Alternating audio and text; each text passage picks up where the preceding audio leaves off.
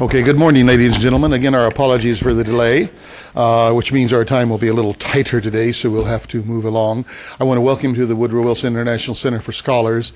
As you know, the center was established as, uh, as the official monument to uh, President Woodrow Wilson in 1968 by Congress. Uh, and we abide by the, uh, the principle that, uh, that President Wilson put before us of trying to combine the, the worlds of ideas and the worlds of policy. Uh, and today is a, a, great, great example of, of that, uh, that uh, theory being put into practice.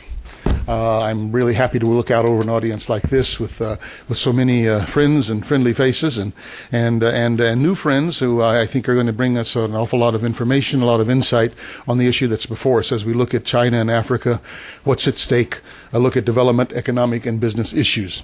Now, I'm not going to speak at all to the subject because we have a house full of experts on that. But let me begin uh, by by a couple of welcomes uh, for uh, for some special guests we have here today. We do have Joe Gildenhorn, who is the chairman of the board of the Woodrow Wilson International Center for Scholars. I'd like you to greet him for us. Thank you for being here, Joe. Also, we have the ambassador from uh, uh, Nigeria, Ambassador Adefuye. Uh, welcome, Your Excellency. And the ambassador from Benin, uh, Ambassador Oguin. Welcome, Your Excellency. Um, our objective here at the uh, the Africa program and the uh, Project on Leadership and Building State Capacity is to help engage and inform those who will determine policy directions in Africa. Uh, on the development side, there are few issues that are more important than the one we're going to be speaking about today to understand the dimensions and the impact of the Chinese presence in Africa and how the United States should respond. Um, to do this, uh, we uh, we seek to uh, reach across the spectrum of uh, stakeholders who are engaged, knowledgeable, and impacted by these developments. And I'm very proud today uh, to uh, to have uh, in our presence and co-sponsoring with me today two of those organizations. we're a think tank. We look seriously at these issues in an academic and a research way, and and and we think that's very good and very useful and and, and necessary. but I have with us the major non-governmental development institute in Africa, Africare uh, represented here by uh, Darius Mans, who will be speaking in just a moment. And the longest standing uh, community based constituency and advocacy group, uh, the Constituency for Africa, and my old friend Mel Foote. Um, I'm going to ask each of them to make some opening remarks uh, before we move to the program side, um, and before we ask uh, Dr. Ngozi Okonjo-Iweala, who's the managing director of the World Bank, to give us some opening remarks to start our conference. Um, and before that, uh, Robin uh, Sanders, who is a former, uh, uh just returned ambassador uh, to, uh, to, for the United States and Nigeria and a career foreign service officer, and also an old friend, um, will be after that. She will be introducing the panels and getting us into our work for the morning. I'm not going to give you extensive bios on on Mel and Darius because they're in front of you. I think you all probably know them pretty well. Anyway, Mel, of course, is is the uh, founder and president of the CFA, the Constituency for Africa, and he spent his life in Africa as a Peace Corps volunteer, working for Africare actually in the beginning as a representative, and uh, and now also has founded the African American um, Unity Caucus. Uh, there are few greater advocates for Africa than Mel. Darius, uh, who will uh, speak after Mel, uh, is, uh, of course, uh, um, uh, an economist, as you know, president of the of Africare now since 2010, and was most recently serving with the Millennium Challenge Corporation, including being its acting CEO for a time. Um, he has 30 years of development experience in Africa with the World Bank, the World Bank Institute, and the MCC. with those words, I will turn it over to Mel to make some opening remarks.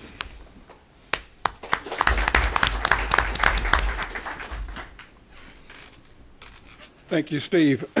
Greetings and best wishes to all. Uh, due to time, all protocols are indeed observed, ambassadors. uh, I first want to congratulate the people of China on occasion of the new year, you know, the year of the rabbit. and on behalf of the Constituency for Africa, I want to also thank my colleagues here at Woodrow Wilson Center and Africare for their collaborative efforts in organizing this important forum today.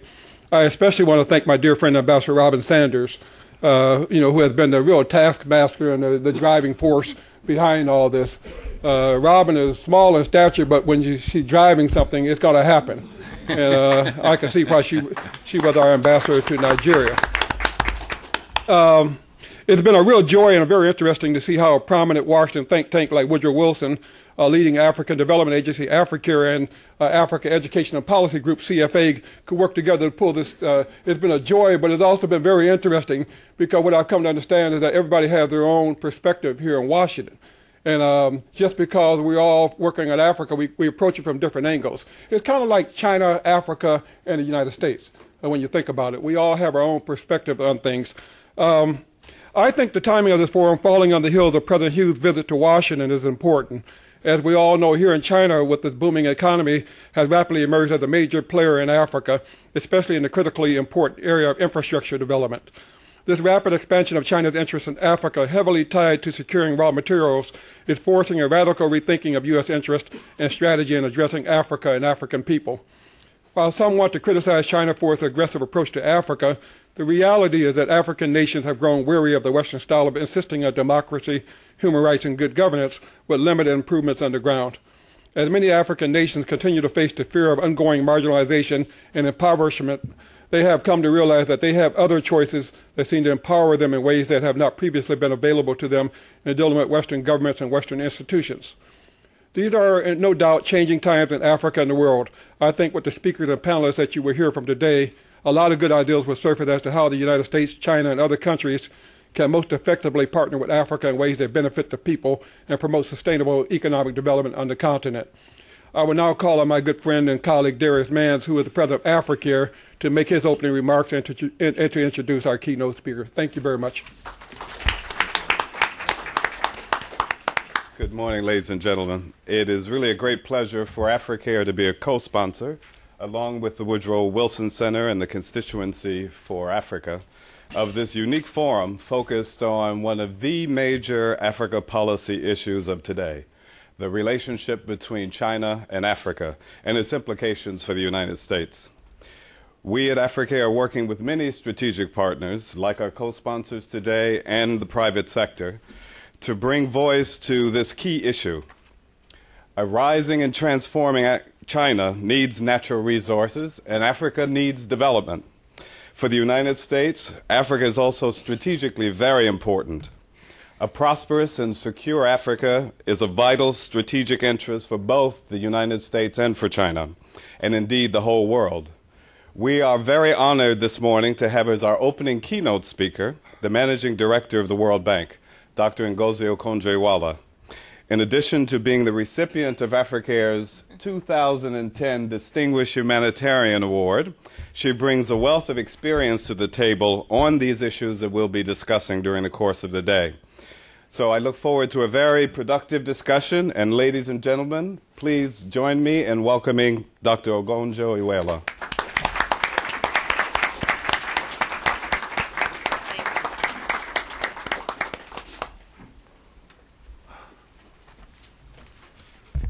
Well, thank you very much. Um, excellencies, uh, ladies and gentlemen, as Mel Foote said, and as we say in Nigeria, all protocols observed.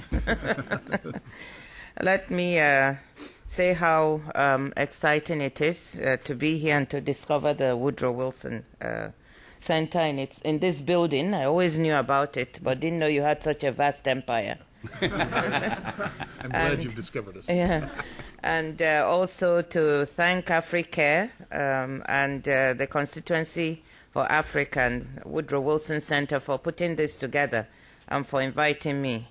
I want to acknowledge Mel Foote, a true friend of Africa, uh, Ambassador Sanders, uh, who bore with us in Nigeria for quite some time, and uh, my good friend uh, Darius Mans, who is a friend, a colleague, and whose passion for the continent is, is known by many.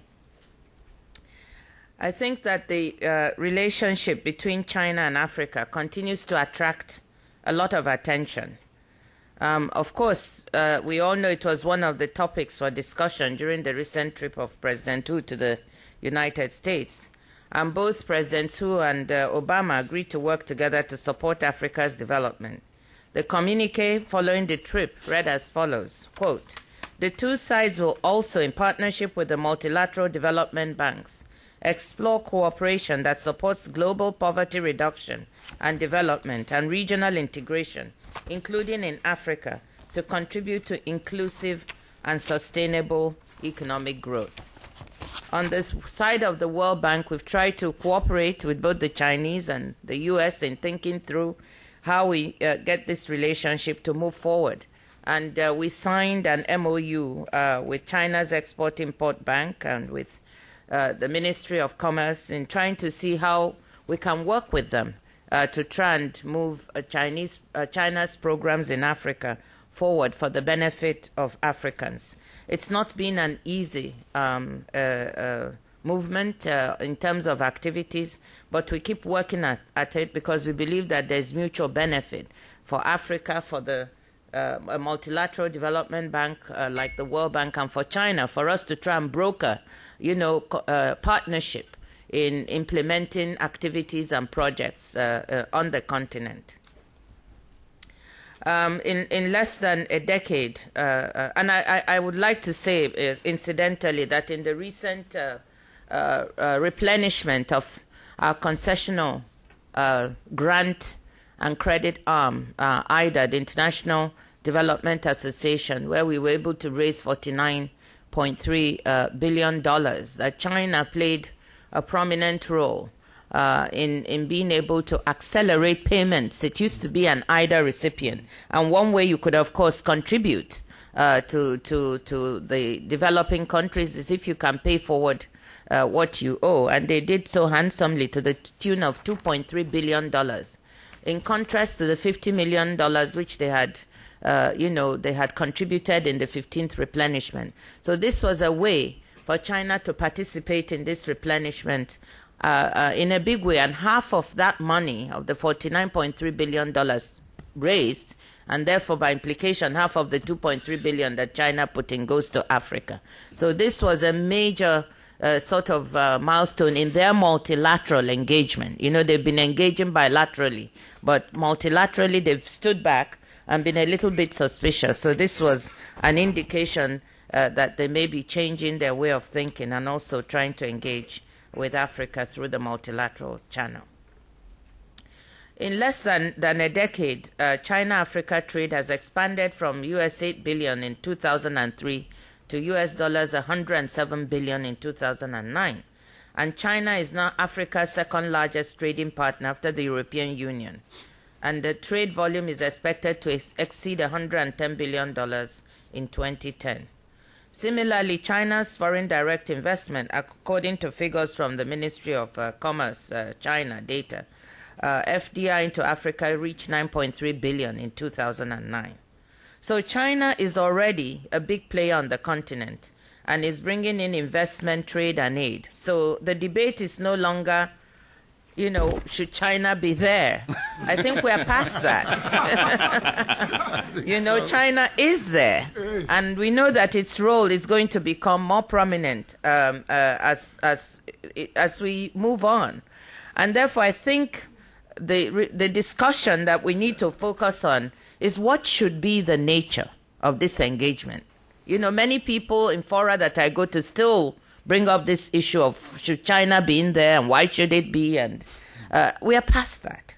So, what should be the nature of the engagement? I think that's what we should uh, uh, focus on, and uh, and uh, quite rightly, um, you know, how should it work? But more importantly, the question that is asked by this forum: What is at stake? in this relationship for Africa, but also what's at stake for China. And those are two things uh, I hope to, to, to, to speak to. For Africans, the key question is how to manage the China Africa relationship to make it truly mutually beneficial. Now, the Chinese have already pronounced that, uh, you know, what they're seeking in Africa is a mutually beneficial relationship. Uh, so this may sound like a, a, cliche, but the fact of the matter is that Africa wants and need, needs a relationship with China that is based on shared interests. We certainly, from Africa's viewpoint, do not want to recreate a patron client type of relationship as existed with our former colonial masters. We want a relationship based on equality and on win wins in terms of cooperation, and I believe those win wins exist. So the cardinal point is that Africa and China must deal with each other on an equal footing. But this won't be possible if Africa doesn't, does not step up to the plate and state what it wants in the relationship. Today, I think the Chinese know what they want to get from their relationship in Africa. And by the way, it's not just natural resources. They've been in some African countries for years and years before the last decade's boom and focus on natural resources. I think it's a bit more sophisticated than that. I think they want to build long term relationships with a continent that they see is up and coming and that will be a center of industry and commerce and enterprise for the future. I mean, the Chinese think long and they think forward. Mm-hmm. So people who are looking at Africa and saying, well, not too much going on, that's not the way they see it. So they are trying to build a deeper relationship, is my opinion. Yes, a lot of it has to do with natural resources, but I think it's more than that. They know what they want. I bet you if you talk to the Ministry of Commerce and Finance and the Chinese leadership, they have a strategy for Africa, and they have a strategy for each and every country they want to go into. The question I have for Africans is do we have a strategy for mm. China? Mm. Is there any African country, if you called on them today and say, What is your approach and strategy to China? Could they show you what that means other than an opportunistic way of dealing with these countries? So I th- with China. So I think that's what Africans need to think about. The reason why many of our relationships with our former colonial masters and the West did not succeed is that often we didn't have an approach. We didn't have a strategic view to deal with many of these countries. If we don't get our house in order and start thinking what is our strategy vis a vis China, we may find ourselves perpetually on our back foot. And that would not be a good way to continue this relationship, which I believe is going to be a deep one for the future. So there's a lot at stake for Africa. And I believe that the central thing at stake for the continent really is the very growth and development of Africa. What is at stake is the very growth and development of the continent and the model of growth and development we want to pursue. Let me push that a little bit. Bef- why do I say this? Before the crisis, sub Saharan Africa had been growing fast before the financial crisis.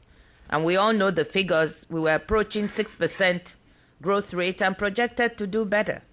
This growth was mostly attributed to four factors improved macrofiscal discipline in most of the countries, low interest rates in the US, which encourage FDI towards uh, countries, high consumer demand in the US and other developed countries for developing country exports, and also increasing demand from emerging markets for developing country exports, especially demand from China. During the crisis, as demand and FDI from developed countries dropped, demand for China, from China for commodities accelerated. This acceleration helped Africa manage some of the negative impact of the crisis. While exports to the EU dropped by 4.5% in 2009 and those to the US dropped 1.6% in the same year, exports to China grew by 3.5% in 2009. This compensated some for the drop in exports to the usual markets for African countries. So the ability of Africa to diversify markets helped it manage the crisis. And as a result, Africa was able to re- weather the downturn uh, much better than it would have. And uh, it's also been able to bounce back. Usually, when we have this kind of crisis, we find that there's a lag for Africa to recover about a year. This time, Africa has bounced back faster. And I do believe it's because of those four factors I, me- I mentioned the good policies which were pursued even during the crisis, with finance ministers stating they would not step back from good policies but also the ability to have diversified its markets and, uh, and to be able to rely on, on, on a market like China's uh, to, to, to uh, weather the crisis. So um, that, that, that's the point I want to make in saying our very growth is at stake in the way we deal with China. So if we can convert the relationship with China to a strategic one for us, where China is helping us diversify our trade, where it is helping us, you know, diversify our own economies, so that it's not just a question of growth, but growth with jobs. If we can work with China, so it's not just an issue of their interests uh, during this boom period in commodities, in extractive industries, but also in looking at the African continent as a place where, as they move up the value chain in terms of their production and become less competitive for certain items, they can move into those African countries that have put their house in order in terms of the investment climate and be able to set up manufacturing in those countries. We need to persuade them that, look, our model of development needs to include the creation of the development of these industries that are labor intensive, some of them, where China may no longer be competitive, but that create jobs on the continent. That because the extractive industries where they are engaged quite a lot now do not create jobs. And what we need on the continent is growth that is inclusive and is job creating because of the bulge of youth that we have to deal contend with on the continent. So that is why I say that our growth is at stake. We have to figure out how to attract China into more value chain type of development activities and more investment in areas that will be beneficial uh, for us. But even on the extractive industries, we also need to ensure that we are getting our, what is due to us, our rightful compensation for the natural resource exports. And this means that in terms of our bargaining power, because if we get what is due, we can also replow these resources into the diversification of our own economy. We can also finance our infrastructure, a lot of what China is doing now. But if we do not know how to negotiate, if we do not have the right teams across the table from the Chinese teams, if there's this asymmetry of information where the people negotiating with us have more than information and knowledge about what they want to extract from us than, than we do, and we don't have the expertise, either legally, economically, or financially, to get a good deal, then we will lose out. So, even within the extractive industries, there's still work to be done. We should insist on open, transparent negotiations and deals that our populations, our civil society can understand. If we have to batter, let's make sure we do the calculation and be very explicit about what this means. So, this is important because China is the vanguard of emerging market investment in Africa. If we don't get it right with China, Brazil is on its way, so is India. And of course, they will follow with the same kinds of bargains and relationships. I can tell you, when I was Minister of Finance in Nigeria, we received a huge Brazilian delegation that was interested in, in, trade with us and investment. But the proposal they had to make was the barter of oil for all sorts of other goods, aircraft and so on and so forth, to purchase from Brazil. No problem. But I wanted us to sit down and calculate the terms of trade. What this would mean. And this caused a little bit of discomfort. Of course, of course, I'm always the naughty one who is putting things on the table. And I said, look, this is all very well and good, but for us to understand whether this deal is good for Nigeria, because we can't just go into a barter without understanding. Let's sit down. And this is why I urge all the African countries in dealing with China where there's a lot of this trade. I'm not saying it's wrong. I'm just saying know the terms. Mm. Do the calculation so you don't set precedents that other countries will walk into, which may not be all uh, to the advantage uh, of the not our leaders in Africa, but the people uh, of the continent. So uh, we need to work with China differently so that we can use their services, their interest, their willingness to cultivate a relationship with this market of a billion consumers to the advantage of African countries. And as I want to emphasize again, so that we can set a precedent for Brazil, for China, for other emerging markets that are coming forward. So China's interest and investment in Africa should be a means to help us diversify and further reform our economy, not a means for us to pull back into less open and less transparent and non reforming relationships. I often hear African leaders say, well, you know, if you don't give us what we want, we'll go to China. Mm. and I think that that should not be the attitude. The attitude is here is how we are reforming, here is how we are willing to do business, and we want China, US, the EU, and all those who want a relationship with Africa to come to us on these terms.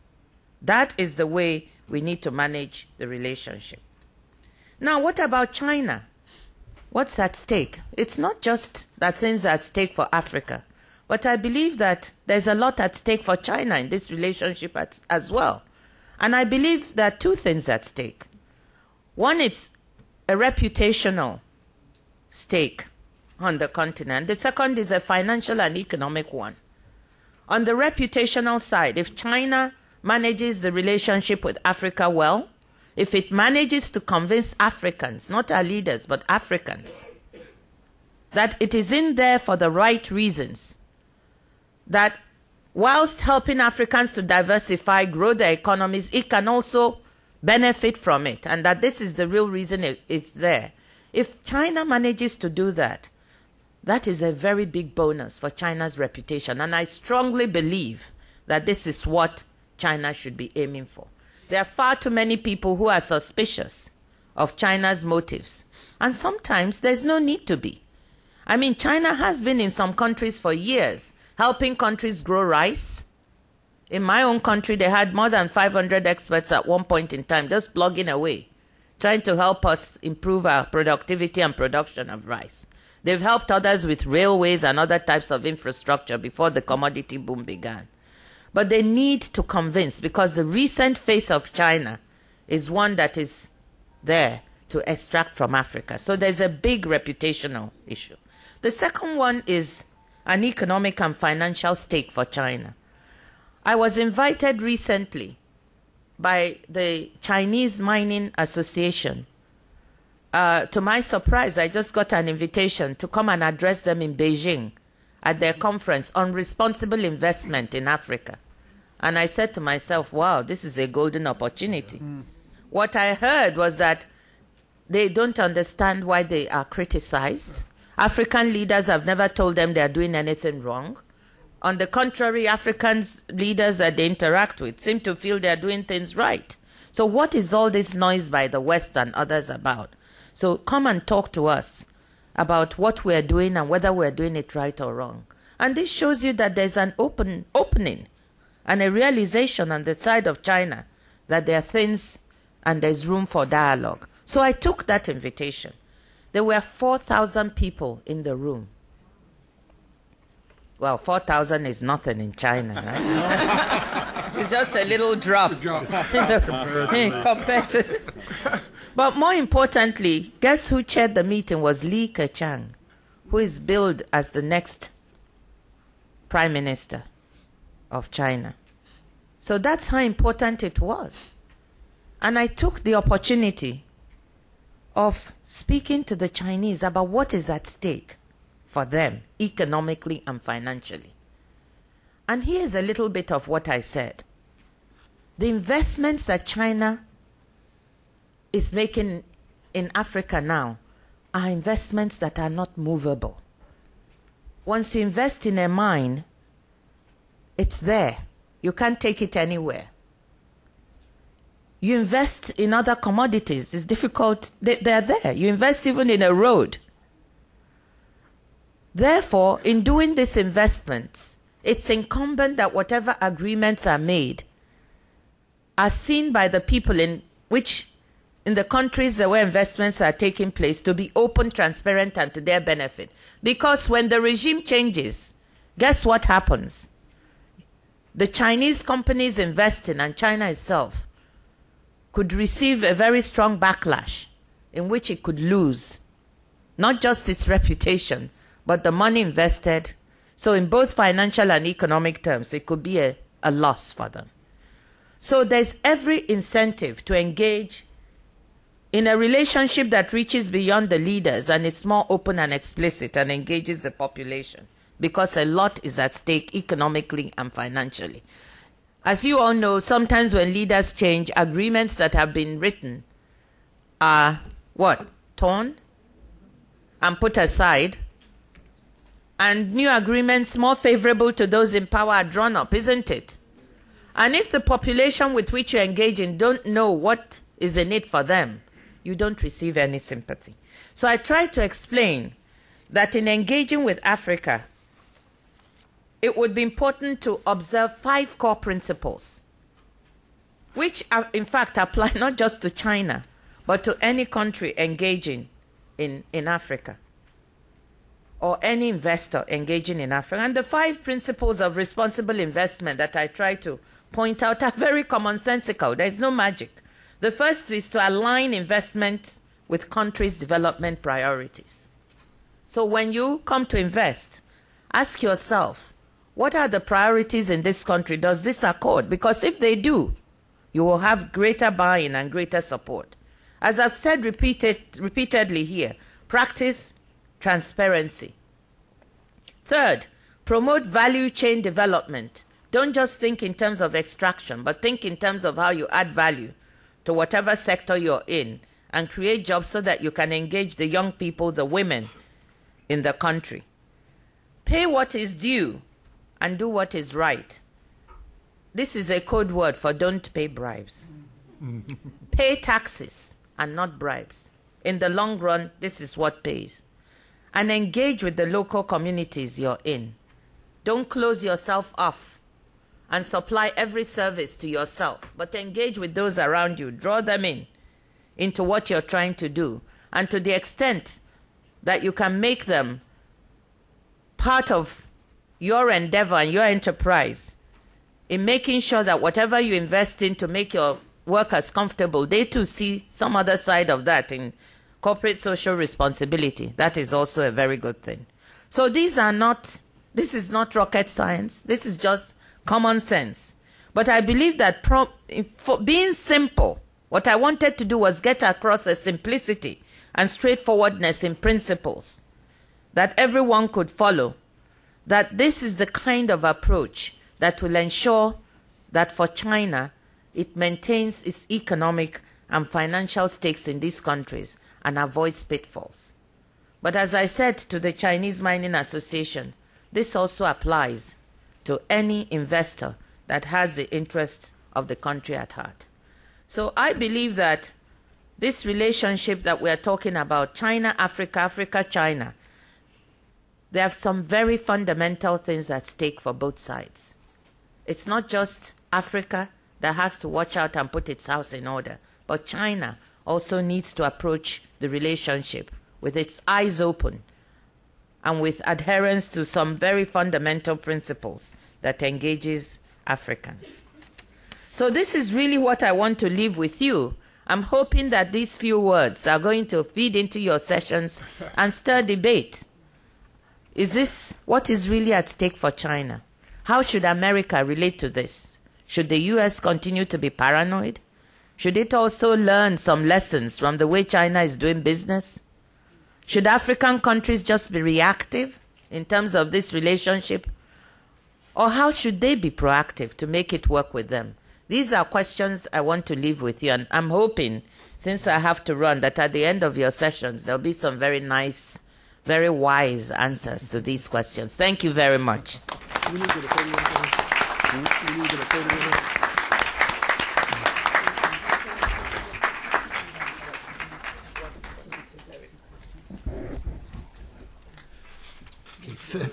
Yeah.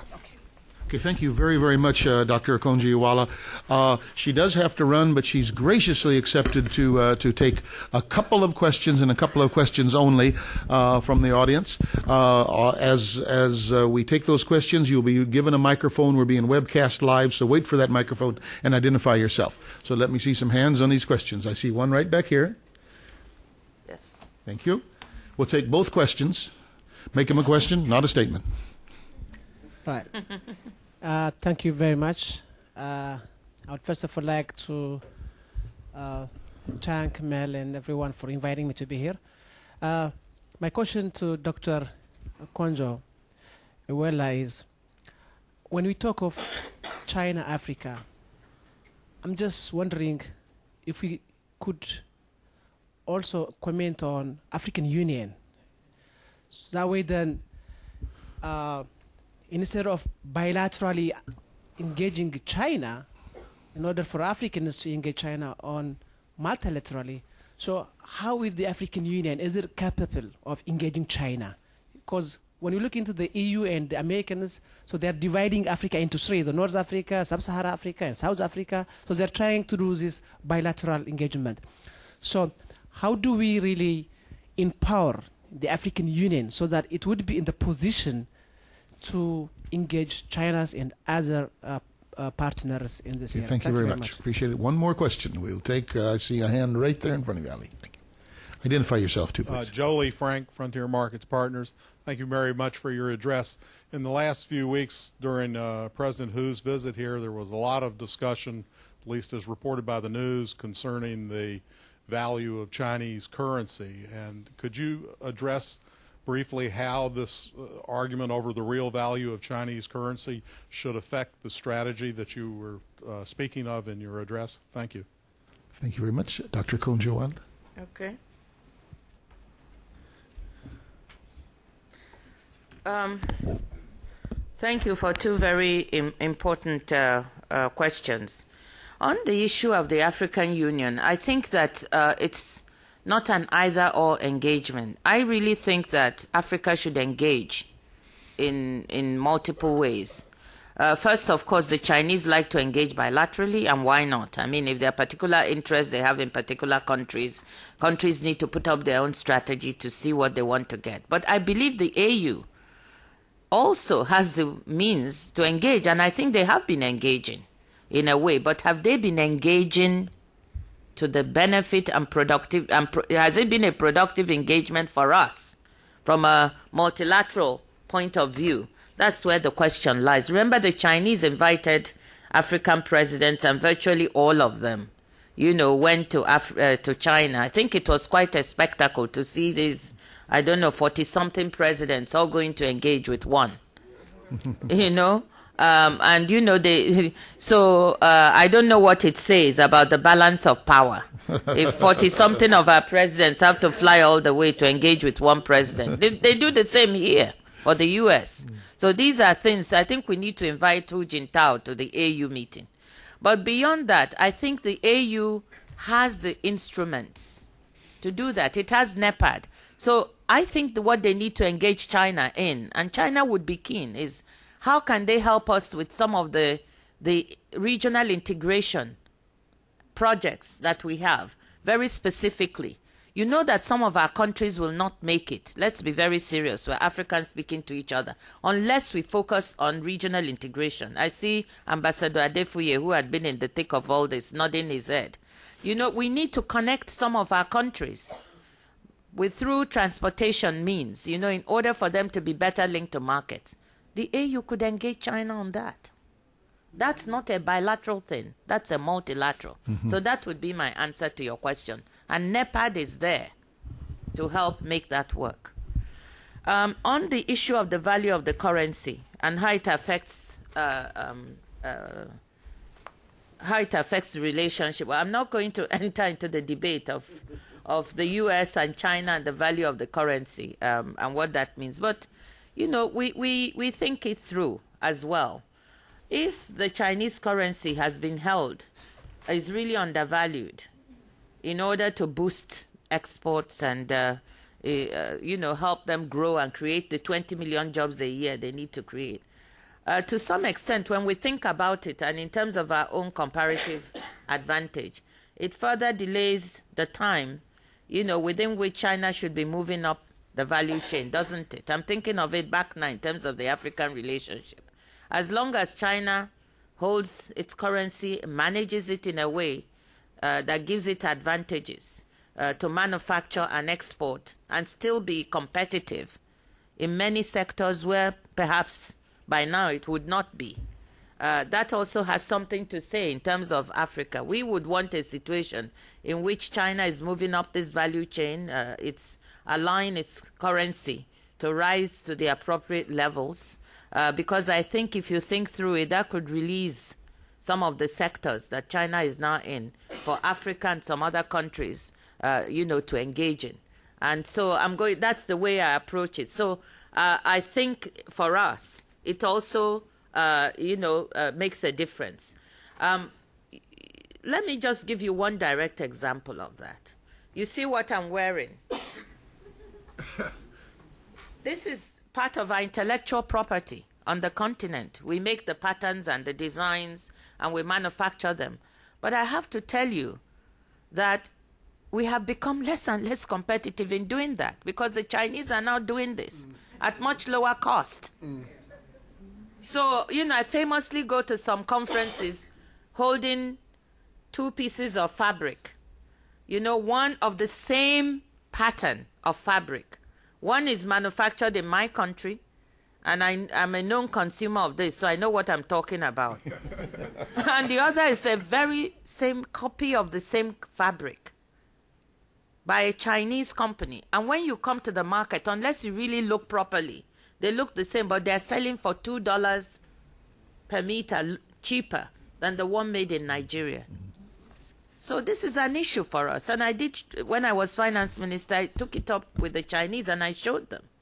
You know, in fact, it went to the extent that the name of the textile company in Nigeria had been copied and set up in China, and they were manufacturing the, the same patterns at cheaper cost.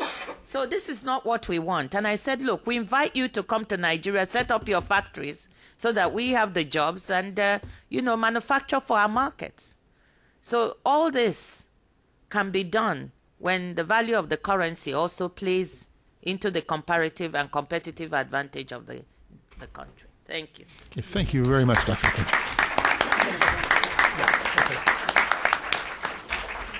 Thank you. Sorry. Enjoy. this is much more fun than what I'm going to do. uh, Robin, do we need a picture? Oh yes, we wanted. They wanted one photo. Um, I don't know where your photographer is. Uh, where's the photographer? Quick, quick, quick. Quick, quick. Yeah, that's, that's important. Yeah, okay, thank you for reminding me. Let's, uh, shall we do it over here, I guess, because. Where would you like? Where would you like us? In front of the African. Come on. Well, in front of the African, No, Hey. which, which you don't mind, but, no, I don't like this as a Oh, you don't like this, okay. Yeah. Woodrow Wilson. There's What would you like? Would you- Woodrow Wilson's there, we'll get us all for right in this corner. Yeah, come Woodrow get in there. there. Yeah, get in this. Hello. good to see you.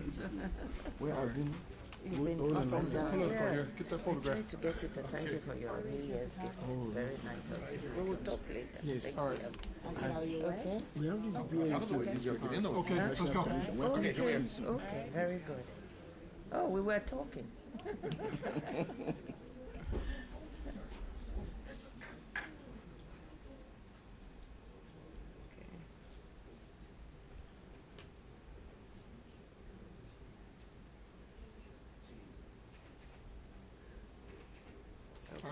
Good. Thank you very much. Okay. I'm going, I'm going to come. Oh, maybe I have next week. Um, yeah. No, next week. No, I'm, I'm back on Thursday. Thursday. Thank you so much. I'm going to stay. Mr. and start. McDonald, thank you so much. Thank you. Okay, well, thank you. Thank you, nice one. Thursday morning. Thursday. Morning. Okay, we're inviting uh, Ambassador Sanders now to kick off our morning. Thank you very much. Good morning. I am Robin Sanders and currently serving as the International Affairs Advisor to Africare. Uh, today we have a couple of goals. First, I'm going to invite the first panel to uh, the head table, please. All members of the first panel. and I'll continue with the Scene Center. Our goal today is to have an overview and a perspective discussion about the development, economic, and business aspects of the Africa China relationship. As many of you know, this is a key topic of the day for any of us who consider ourselves not only friends, but also stakeholders in supporting Africa's uh, efforts to develop. There are a couple of operational things I want to highlight. Can I first ask people to turn off their cell phones? I also want to remind you that we are web streaming live, and there is a still photographer who will be taking pictures around the conference center this morning. This is a half day event, and we have two distinguished panels today who will provide a solid overview of where they see things are, where they see things are going, and what the way forward might be. The goal is not two dimensional. The event today is not about the U.S. and China relationship per se, but how both countries help and assist Africa, keeping in mind that it is not a zero sum game. We will begin with our first distinguished panel entitled Overview of the Development, Economic, and Business Relationship that will be moderated by Mr. Stanley Straughter, Chairman of the Constituency for Africa. Mr. Straughter will introduce his panel members. The idea behind this panel is to put some things in perspective, particularly now as China is the second largest economy in the world, passing Japan, where four years ago it was number four. It has a reported GDP for 2010 of 10.3%. On the other hand, Sub Saharan Africa has been noted recently as a key emerging market with 20 of its 37 economies expanding, and the rate of return on foreign investment in the region is greater than any other area of development. In addition, the potential annual revenue by 2020 could reach as much as $2.6 trillion when combining the possible outputs in agriculture, natural resources, and infrastructure development. And let's not forget the other key areas for the future the environment and alternative energy sectors, as China's Solar Valley and Dezhou Solar University are being listed as one of the top world centers to focus on clean energy, coupled with Africa's resource account, which is reported to be 24% of the continent's GDP. All of these figures you can find on McKinsey, Washington Week, and Energy Now. The second panel, The Way Forward for Africa, the U.S. and China. Here, the goal is to be prospective on the key issues relevant to today's event and highlight not only what is next in the Africa China paradigm, but whether the U.S. should be a factor or not in the Africa China relationship. And also, what are some of the new areas of engagement, such as the capital market sector? Each presenter will have about eight minutes to make their presentations and they will take questions in groups of three. And I turn the floor over now to Mr. Straughter. Thank you very much, Ambassador, for your um, helping us to organize this. And I want to publicly thank uh, Africare and also the Woodrow Wilson Center for inviting us to be a part of this great event. Um, I'm not going to read everybody's bio. I'm, as uh, Steve said earlier, the experts are here, and you came to listen to them and not me.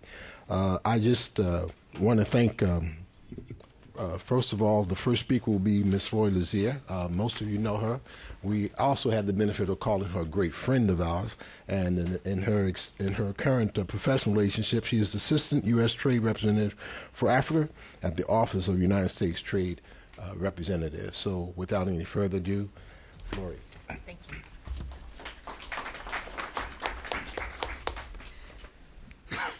Well, good morning. I am really pleased to be here to uh, have been asked to attend this um, very timely event uh, organized by the Woodrow Wilson Center, the Constituency for Africa, and Africare. And I'm delighted to see so many uh, friends and supporters of Africa um, throughout uh, um, uh, the room.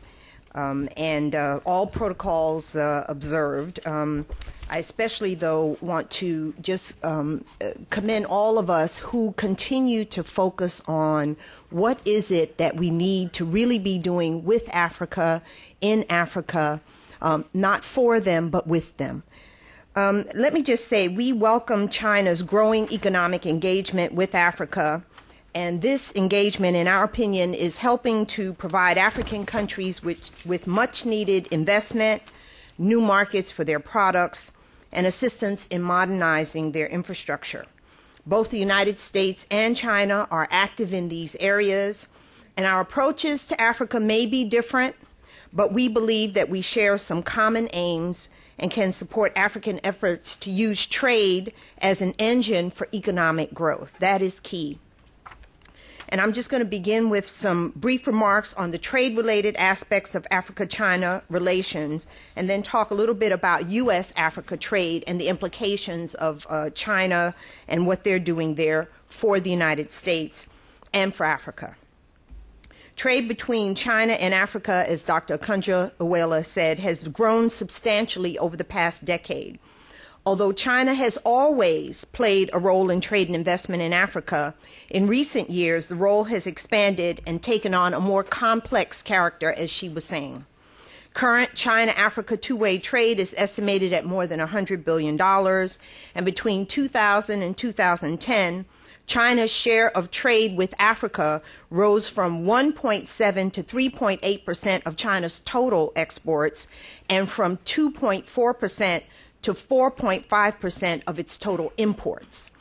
The relationship between China and Africa has contributed in part to African development, particularly in relationship to infrastructure and the development of natural and mineral resources. However, China's trade with Africa is largely resource based. Chinese demand for mineral resources and raw materials such as oil, chromium, cobalt, copper, and iron far exceeds Chinese supply. Accordingly, China relies on imports from Africa to fill that gap. China's principal demand is for oil, and Africa currently accounts for about 30% of China's total imports of crude oil and oil products. China offers African countries specific trade preferences also to encourage trade.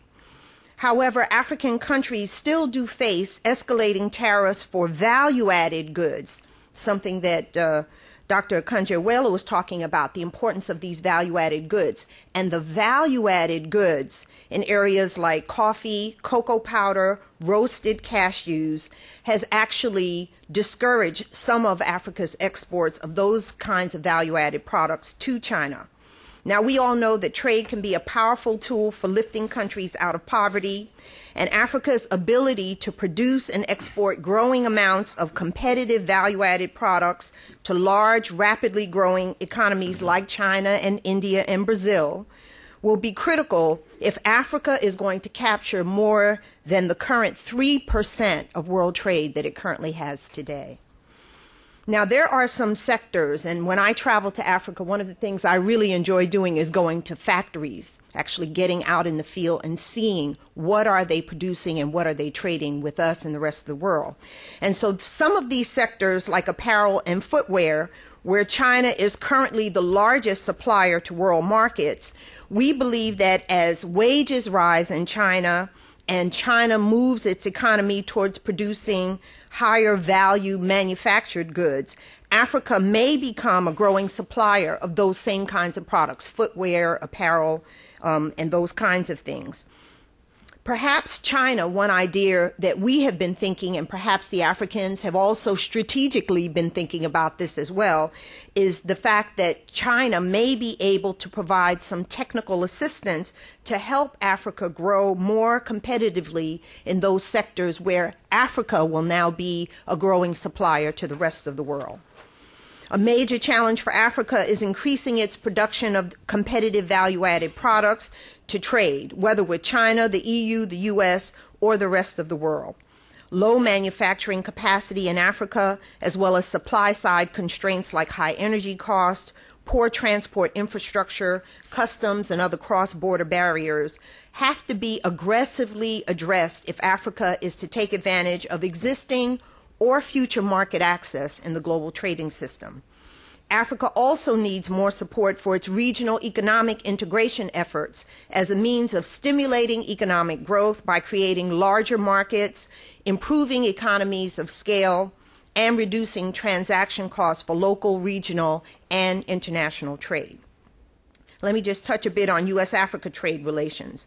The United States trade policy towards sub Saharan Africa is based on our firm belief that trade can be a powerful engine for lifting countries out of poverty, creating jobs, and giving people hope for a better way of life. It's also based on our view that trade cannot be seen in a vacuum and is connected to a number of other issues such as democracy, good governance, and human rights. The African Growth and Opportunity Act is one of our main tools for promoting increased trade with Africa, especially in value added products. And AGOA is providing today duty free entry into the U.S. market for just about all of Africa's products from the eligible countries. AGOA has helped to increase both the volume and diversity of U.S. exports to Africa, from Africa to the U.S. For example, non oil imports from Africa under AGOA and GSP has more than doubled from 2001 to 2010, rising from $1.4 billion to over $3.7 billion. Some of the leading non oil imports under AGOA and GSP include apparel, vehicles and parts, ferroalloys, citrus, chemicals, wine, nuts, cocoa powder, and fruit juices. Now, while we're pleased with AGOA's achievements, we do recognize that it has not done as much as we would like, and that many Africans face daunting challenges in making the most of trade opportunities under AGOA, as well as opportunities in trade around the world. And this is why we continue to make substantial and broad based investments in building African trade capacity. Since 2002, the U.S. has devoted over $3.2 billion to trade capacity building activities in sub Saharan Africa, funding, for example, four regional trade hubs located in Ghana, Senegal, Botswana, and Kenya. And the trade hubs are doing a good job of working with African firms in a wide variety of sectors to help them identify and develop market opportunities here in the U.S., even in Europe, and actually even on the continent. Another major focus of U.S. trade and development policy in Africa is to work to promote greater regional economic integration. And we are working with the African Union, regional economic communities such as COMESA, the East African Community, UEMOA, and SACU to try to advance regional integration just to touch and end up on a few business opportunities in Africa. As most of you know, Africa offers unprecedented business opportunities for U.S. investors. Unfortunately, U.S. investors are not as educated about the opportunities in Africa. And we believe that there are strong opportunities, particularly for minority, diaspora, and SME businesses. A number of recent studies and reports highlight Africa as a rapid growing region and market and of new investment opportunities there. A September 2010 IMF report noted sub Saharan Africa today resembles Asia in the 1980s. Quote, the private sector is a key driver and financial markets are opening up. War is down, democracy is up, inflation and interest rates are in single digits, growth is taking off. The IMF puts Africa's average annual growth for 2004 to 2008 at more than 6%, better than any developed economy in the world, and predicts that the continent will buck the global trend and will be growing by more than 3 to 4% this year. A recent McKinsey report predicts African consumer spending will nearly double to $1.4 trillion by 2010, while the number of households in Africa with discretionary income will rise by 50% to 128 million over the same period. The U.S. business community, unfortunately, has been slow in recognizing and moving in on this new market frontier, particularly when contrasted with China, India, the EU, and many other countries. But we in the U.S. government are continuing to encourage growing trade and investment between Africa and U.S. businesses. Hundreds of small and medium sized U.S. enterprises, diaspora and minority owned businesses, women owned businesses are trading and exploring investment opportunities with sub Saharan Africa. Africans are seeking U.S. inputs, expertise, and joint venture partnerships, and this has resulted actually in growing two way trade, exports, and investment. However, we recognize that there are a number of challenges and that there are a number of areas, such as uh, the pitfalls of graft, corruption, weak enforcement of intellectual property rights, which Dr. Okonjo-Iweala mentioned, constraints on local capital, trade finance that is not sufficient, and poor infrastructure. African governments need to continue their reforms. They've done a lot, and they need to be recognized for that. But even more needs to be, in, be done to improve the climate for doing business there and for attracting more investment and spurring economic growth and development. So, in closing, let me just say that we welcome China's growing economic engagement with Africa. The African continent is large and its needs are many, and we support the initiative of other countries who seek to expand and grow healthy relationships with our African partners. The Obama administration is committed also to expanding two way trade with Africa and increasing investment there. We believe that trade can serve as a catalyst to build a stronger future for the people and economies of both sub Saharan Africa and the United States. Thank you.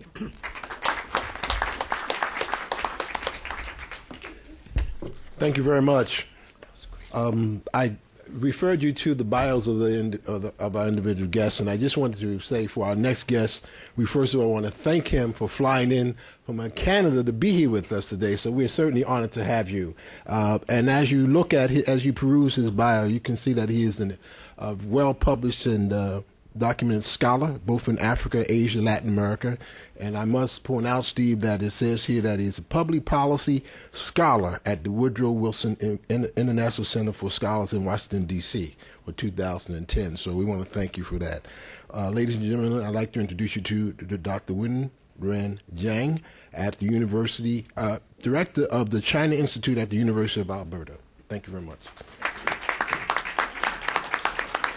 Thank you, Mr. Chairman. Thanks, uh, Ambassador Sanders, for uh, inviting me, and Steve, thanks for having me back. And uh, it's good to be here again uh, after spending uh, quite a few months uh, at Woodrow Wilson Center. Um, I was asked to specifically focus to, on China's perception of transparency in terms of its investment, in terms of its functioning in the African continent, probably around the world as well.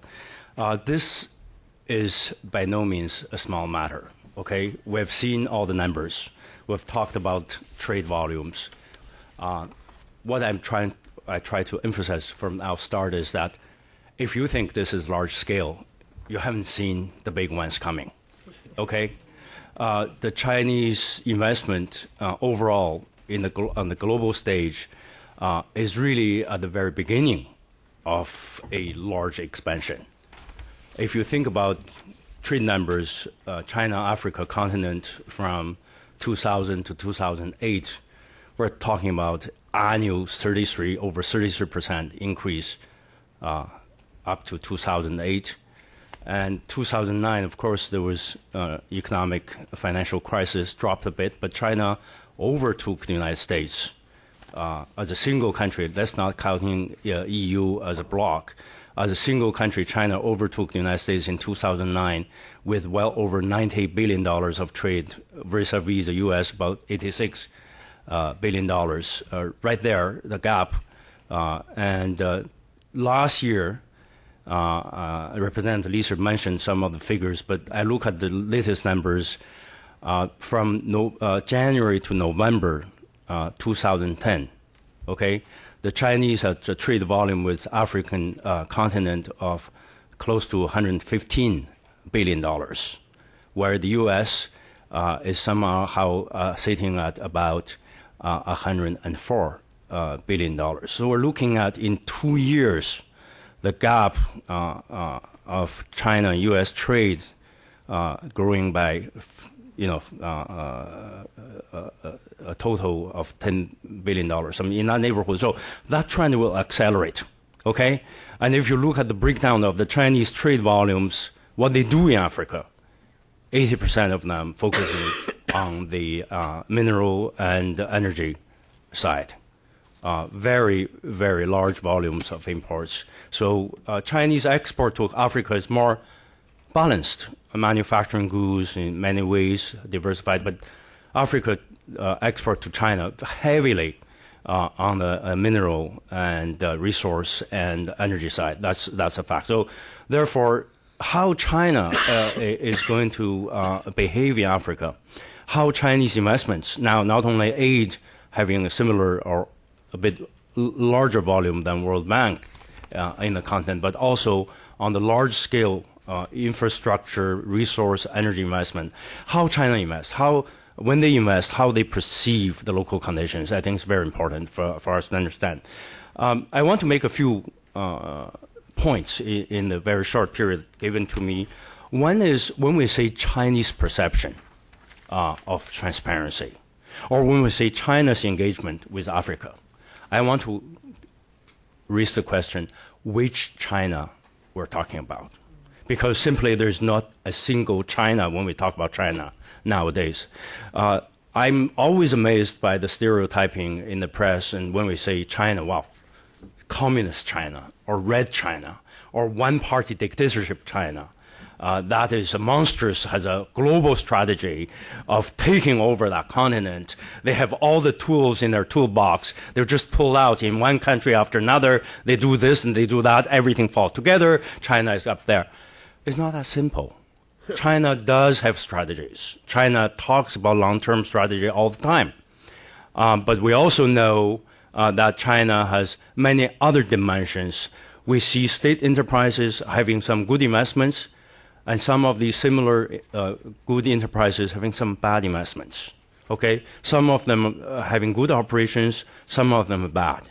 Some of them doing good things in good places, some of them doing capable of doing bad things in some bad places. Let's put it that way. So we're talking about many dimensions of China. There's a medium uh, enterprises going to China, smaller enterprises going to China, individual vendors for those who are many of you either from Africa or traveled well in Africa. They're everywhere. Okay, street vendors. They go to Libreville in Gabon. They will be in the central market downtown, competing with the locals, selling shoes, cheap plastics, whatever, cell phones. And these people, they represent quite different Chinas. I think I want to put that as a first point. Second, I think when we talk about Chinese perception of, uh, uh, when you have different Chinas, they perceive transparency issues very differently. I've done field work in Zambia, in Gabon, in DRC, South Africa, and I'm going back again uh, next next month. I follow China's extractive industries and I interview people on the ground. What do they think uh, about local conditions? And I found all sort of diversified views. And I put up a report, a major report, the only report actually, I think, in existence, on how Chinese enterprises in Africa perceive transparency. This is for the Extractive Industries Transparency Initiative, EITI. It is available uh, with EITI website as well as Revenue Watch Institute. Uh, we, we, undertook a couple of years of uh, local interviews in Lubumbashi, in Gabon, and other places, and put together that report. Uh, we found a, a diversified views. And these views that's leading to my second point. That is reflecting a China interacting Africa uh, with a, a key issue, not about just bilateral relations, how China of state-owned enterprise or medium or small or individual ventures go into different uh, African countries, but rather these different perceptions uh, reflect, I think, very important internal Chinese development dynamics. We tend to think about China-Africa relations or any of China's foreign relations in bilateral terms. That's including U.S.-China relations. We're not going to, going to get into that area, but I think a key important dimension of understanding Chinese perceptions uh, of transparency investment environment is actually to link and to understand how China evolves, especially in the past 30 years we're looking at often China as a one-party state uh, with central government giving marching orders. But in reality, we tend to overlook or underestimate the extremely erosive nature of the market forces that really has taken over China over the past three decades. Okay, we're looking at if you look at China, how China evolved and developed over the past 30 years, we're looking at a very primitive form of capitalism, very cutthroat capitalism uh, in operation in China. Okay? When we say China uh, is cutting corners, some criticism, they do that in China. Okay? When we say China may not pay their laborers in Africa uh, in their investment projects uh, uh, properly as, or as well, they do so at home. Okay? They pay their own workers in a very, very low wage, which is what they call competitive advantage.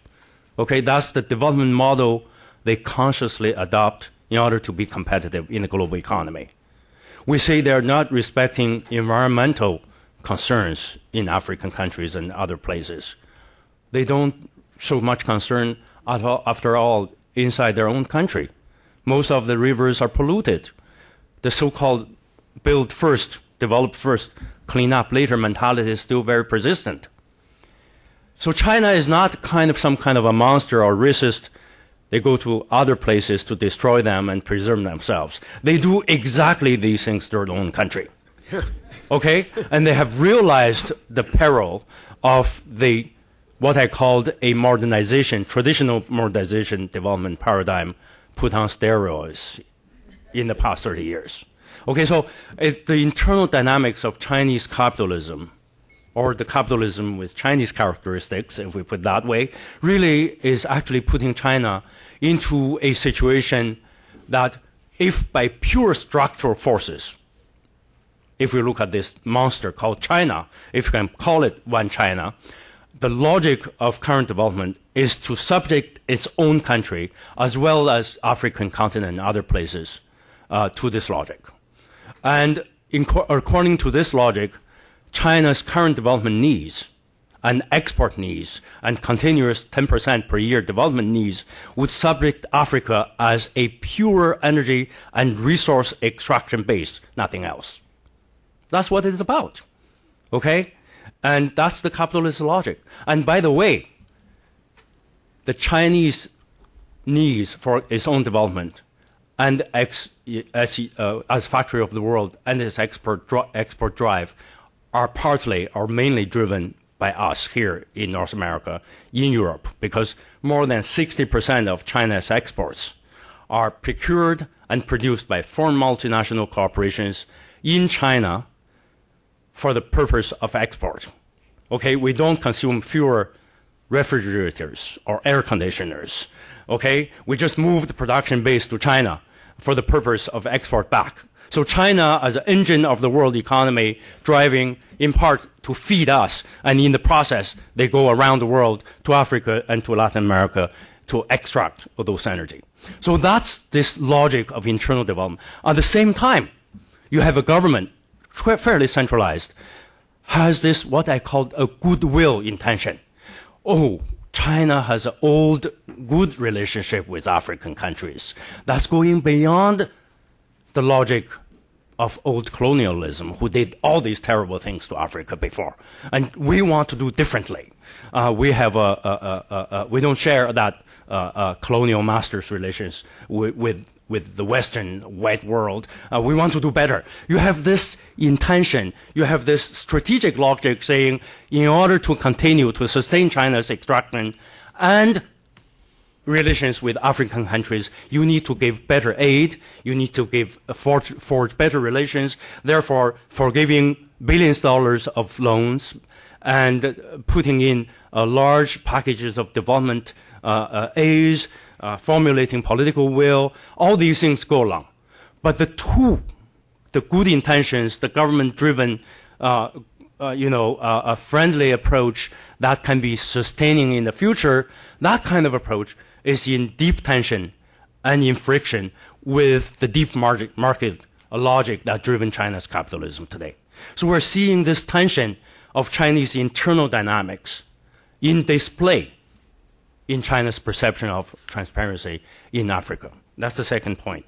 So how Chinese perceive transparency in Africa in particular. Uh, a few points here uh, we can discuss more, but one is actually this what I call uh, the huge perception gap of we perceive in the West, at least in the popular press, that China has all these uh, uh, you know advantages, government assisted, uh, the money and the loans, uh, but the Chinese I talked to on the ground, large state enterprises, you know, oil company executives, down to street vendors, they mostly perceive China, uh, China's presence in Africa as in a so-called disadvantaged position. They don't really uh, uh, have the historical link. They have not been there in generations like the Belgians, the French, the British, and all there. So they felt they're in a disadvantaged position. So when you are in a disadvantaged position, uh, you try to compensate by doing all sorts of other things. They feel that's justified. I think let's not painting a, a rosy picture here, but the perception gap is not, not they're not doing well. So I, I was in Lubumbashi, Congo. I mean, the local 30, 55 to be precise, copper smelters that was built in the past five, seven years uh, uh, out there, they have no government support whatsoever. Uh, only a few state-owned enterprises, mostly medium, small-sized industries, five to ten billion, million dollars. They have no contact with the embassy at all. They are left alone, and they felt they were not being able to compete with the Belgian or French or other multinational corporations of the West. They don't know local conditions that well, so they feel they have to compensate more in order to create better investment and business conditions, and they will do sometimes whatever is needed. And then they feel they were singled out by local corrupt officials to extract a so-called fee. I don't know how many times I was. Uh, thank you. I was reminded my time is nearly up. Two minutes. Okay. Uh, quickly, let's not telling more stories. Uh, but the second, uh, I think, um, they feel once they're in local conditions, whatever they do with their business, it's just the local conditions. That's exactly what the Chinese felt they were doing at home uh, they will do whatever the locals do, and in order to survive, the survive instinct drive their practical investment and other business considerations. Uh, and and the third, I think here, uh, when you come to large state enterprises, they tend to compensate with what they perceive to be the disadvantaged position. They're coming behind. Mineral, good concessions of oil is being taken by uh, others. Uh, uh, Western companies. So they come with package deals with long-term loans in many other areas uh, in return for a long-term supply of oil. That's well known, do- well documented, and.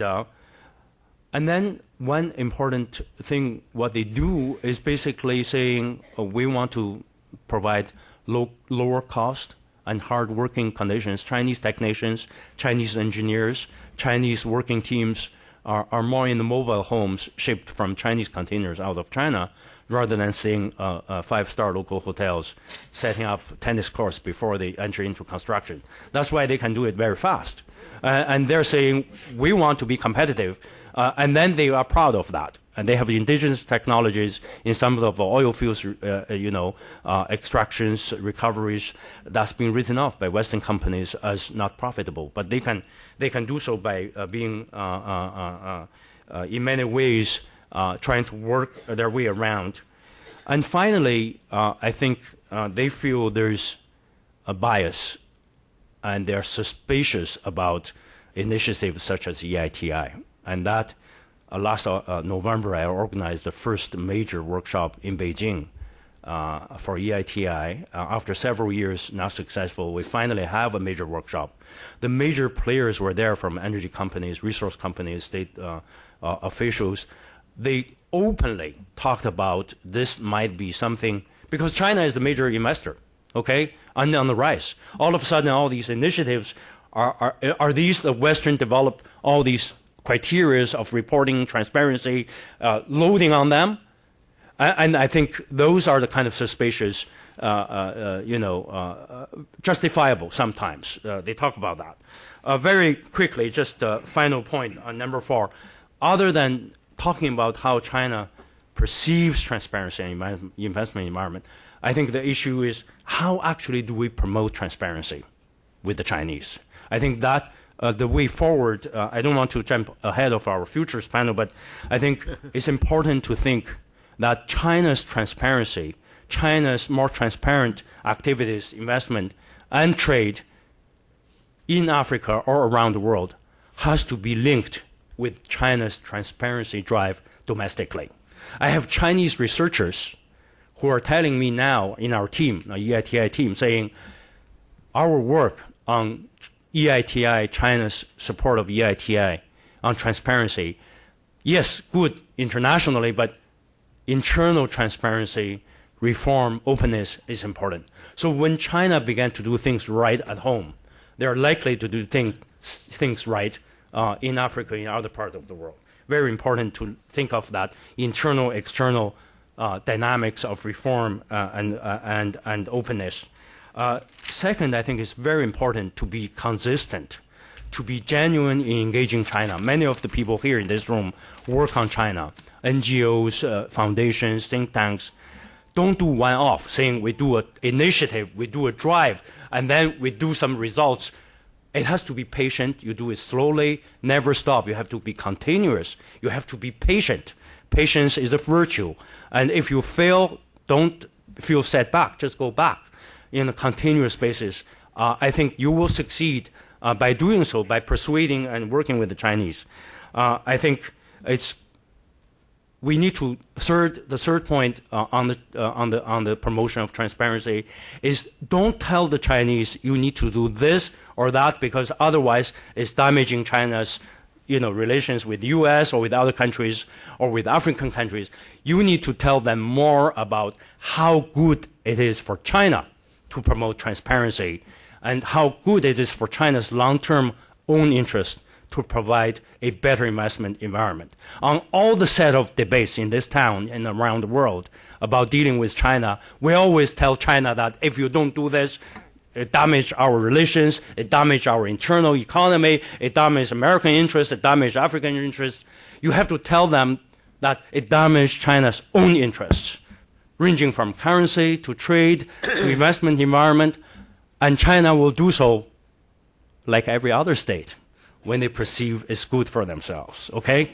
And finally, the final point on promoting this let's not assume that we can change China from outside. Okay? We can do wonderful things. But it's important logic if you look at the past 30 years, we need to depend on Chinese to change themselves. So our work need to focus on promoting the reform-oriented, open-minded wings of the Chinese leadership and enterprises, and through them, and let them change China themselves and move China forward. And that's the way China would improve its own image and transparency and investment, investment environment in Africa uh, in the long run. Thank you very much. Thank you. now you know why we flew him in from Canada, right?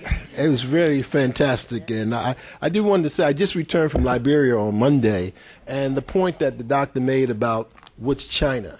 I had, I had a meeting with Ambassador Linda Thomas Greenfield, and she said, Stan, the Chinese ambassador took her to a brand new Chinese restaurant. It's not the only one, but took her to a brand new Chinese restaurant there. And, she, and he, he was gloating and she said, I wish I could just get an American to come here and set up a restaurant, you know, the point. But if you go so also go in the marketplace, go into town, you'll see the Chinese vendors there. In the marketplace, I mean, they've come to stay.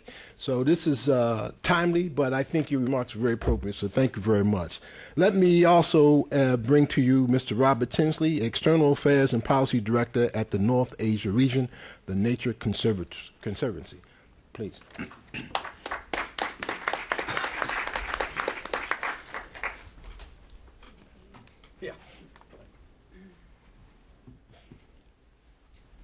Thank you.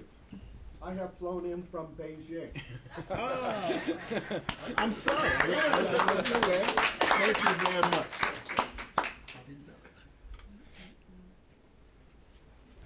Can you hear me? Well, this is going up.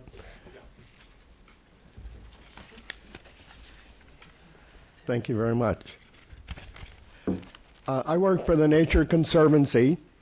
Uh, being here is like a dream for me. I used to be an American diplomat. I worked for Robin Sanders in Nigeria as her economic counselor. Uh, we talked about the EITI. I was the intellectual author of the monitoring and measuring uh, group of the Nigerian Extractive Industries Transparency Initiative. Uh, I won the uh, worldwide award for environmental diplomacy for my work in the Middle East, and I spent seven years straight in China as a diplomat in the 1990s. So, very uh, glad to be here. This is actually the first time that the Nature Conservancy is introducing our emerging China Africa strategy to an external audience. So, uh, we welcome your uh, questions, your feedback, your advice, information, contacts, possibly even uh, support. Uh, I'd like to mention that two of my colleagues are here, sitting to my right in the middle Randy Curtis, who's a senior policy advisor, uh, advising both our China and Africa programs as we move forward, and also Kirsten Patterson, who is with our Africa program. we believe that not only animals and plants need ecosystems, but human beings need ecosystems. And that's probably true in Africa as much as anywhere else. Uh, I had the privilege of consulting a couple of times with uh, Dr. Okonjo Iweala when I was uh, going out to be an economic counselor in uh, Nigeria and I really believe that she set things up very well in terms of how we, the Nature Conservancy, look at partnering, if you will, with all of those Chinas that you described, Doctor, uh, to do some good in Africa. Uh, it's also very interesting for me because I work in what we call the North Asia region, which for the moment is China and Mongolia, uh, and I'm one of about 70 of our staff, but only five of us are Americans. Everybody else is Chinese or Mongolian. So we're coming at this initiative, if you will, very much from a Chinese standpoint. In China, we are doing those things to make things work right, harmonizing people and nature. Uh, we are now introducing to the government a revolutionary strategy for managing water flows on the Yangtze River, which, if adopted, would increase earnings from hydropower, would better flood control, and would also allow for the recharge of wetlands and lakes and other aspects of biodiversity. Uh, we have a climate change program on both the mitigation adaptation side, uh, completely linked with China's key agencies and experts, which is really changing that dynamic. And our ecological blueprint is the framework for China's National Biodiversity Strategy and Action Plan, identifying 35 priority conservation areas. Uh, I'd like to note that we're working on the ground in Zambia, Mozambique, Namibia, Kenya, and Tanzania. Uh, we're hoping that our China based initiative can support not just the work in those areas, but broaden the impact of what we're able to do. Uh, there's already been mention of infrastructure development. Uh, we have a tool that we call development by design that can guide infrastructure, mining, uh, oil and gas. We are also looking at uh, illegal trade uh, affecting wildlife. Uh, rhino poaching trends. Uh, very interesting challenges. Sometimes you can uh, go after mass perceptions. I think there's been some changes in China in that sense in terms of shark fins and shark fin soup. Uh, but uh, rhino is a very difficult one because it's a more limited market and it's very limited marketing channels. So you're dealing with some uh, tough actors and tough to change people's minds. Some other possibilities that uh, we're looking at, we're actually in discussions with some of the major, major actors within China in terms of lending uh, institutions. Uh, we're having conversations about possible debt for nature uh, swaps. Uh, we are very, very involved with the progressive business community in China uh, among our China board members are some of the most successful entrepreneurs in the country, and we are seeing where whether it's green energy or corporate social responsibility, recognition systems are actually having an impact domestically and could overseas, for example, in Africa as well. We're not on the ground in Madagascar, but with support from USAID, uh, we lead a program called RAFT, which is Responsible Asian Forest Trade. Uh, we have connections where, uh, which we've offered to the Madagascar Rosewood Coalition to try and affect on the demand side uh, that trade, which is decimating the rosewood resource in that country. Um, I want to thank you all very much. Uh, glad to have been with you. There's a lot of different ways to uh, get at uh, this equation. Uh, there's been mention of uh, Chinese work crews or operations being closed off. We we hope over time to engage with some of those operations to try and get guidelines in place in terms of bushmeat. Uh, so we will work everywhere from the policy end to really engage with specific uh, operations. Of course, we're not the only ones who are trying to do this, uh, but part of the way that we work as an organization is to work with all of the other stakeholders, all of the other uh, partners. Uh, if you want to look at our website, nature.org, just go to where we work, China and Africa, you'll see more of the details. Uh, thank you very much.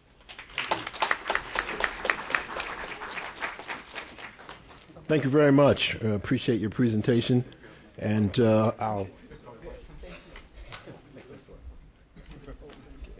our, our next guest, uh, Mr. Raymond Gilpin, Associate Vice President, Sustainable Economics, United States Institute of Peace. Uh, here?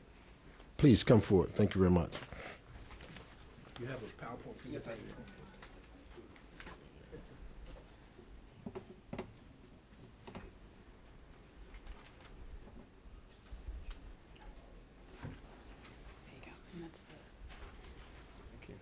Uh, thank you very much, and thank you so much to the organizers for putting this on. Um, it seems as though the narrative gets retold over and over again. The figures might change, but the narrative seems pretty solid. You have two camps.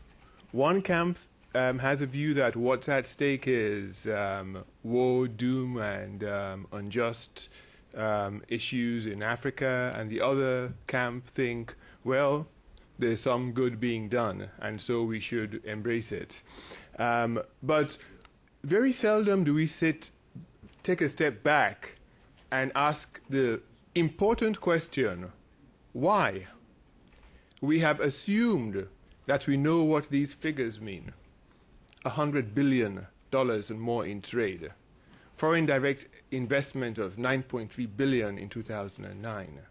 Um, workers' practices, employment. What does it mean, and are we getting the diagnosis right? And so, before we go to the uh, futures panel that is looking ahead, I want us to look back a bit and just think: what are the, what are these what are these uh, figures actually telling us, and why are, why are they so? Um, we know that um, China has one view of Africa, and most of these issues have already been discussed. And these views are guided by the five principles of Chinese foreign po- policy. They have not changed essentially since the 40s, and they, are, they explain a lot about what is going on and why both uh, trade and investment are unfolding in the manner in which we um, see them doing so. As I said, we have some positive reactions and there are some negative reactions to um, China. We've talked a lot about trade trends. Average annual growth over the time period 33.5%. Astounding.